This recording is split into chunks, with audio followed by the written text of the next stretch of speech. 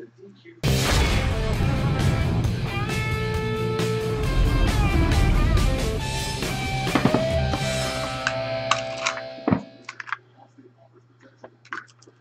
folks, Kentucky Josh here. I'm doing a quick review on a ohm meter from sunnyvaping.com. US made. Um, I think it's really about the only US made uh, atomizer ohm meter. Um, as you can see it comes with the screwdriver actually attached to it. Runs off of two AA batteries.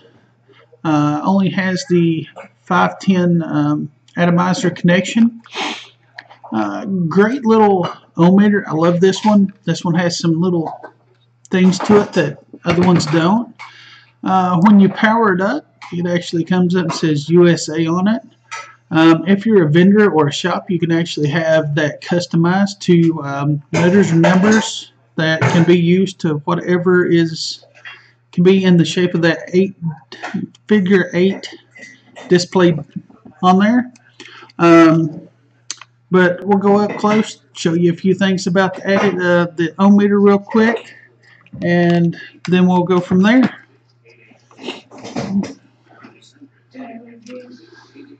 So, here's the ohm meter.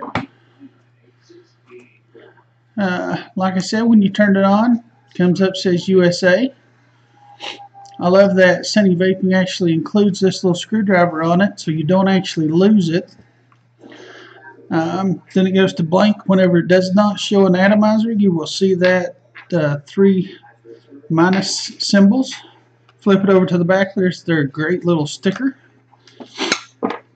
On the inside, you actually see on the control or the uh, circuit board, Sunny Vaping, made in the USA, and the date that it was the board was actually made.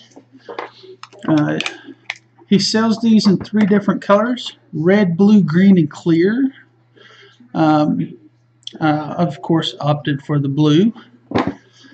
Um, he was also selling the DIY kit to make your own, and he was selling the uh, circuit board separate, so if you wanted to do something else with it. Uh, but I'm going to show you what uh, the display actually, how it works. First we'll start out with a standard resistance. This is actually a cartomizer or a carto. This one is pretty much a 2.2 ohm is what they consider it. This actual ohm meter reads out pretty accurate. Um, and it is reading basically what my $350 Fluke is reading when I meter it. Uh, next up, I will show you a uh, sub-ohm. This is one that I, my standard resistance, um, 0.8. Uh, and you'll notice with the 0.8, there is no decimal point between the first and second digit. And here's a really sub-sub ohm, well, what I consider sub-sub ohm. This is a uh, 0.243244 sub ohm.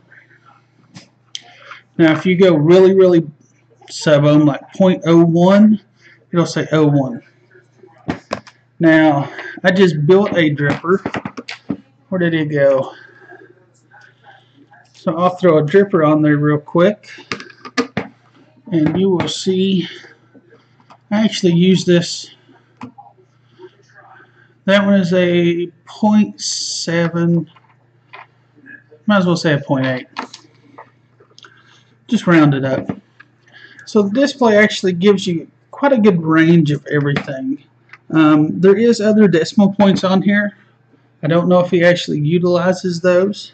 But I'll show you again where the decimal point is. Mm. There you go. You can actually see the two point on there.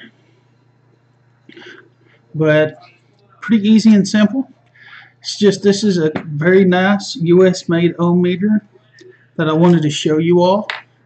Um, these sell for I think just under $20 if I remember correctly. If not, I'll put a little thing up uh, to correct myself. Uh, Sunny Vaping is now concentrating just on their ohm meters. Uh, so they will be available on their site soon if they're not already listed on there. So they will not be selling any other products but their ohm meters. So if you have any questions, contact me at kentucky.josh at yahoo.com and I'll see you on the next one.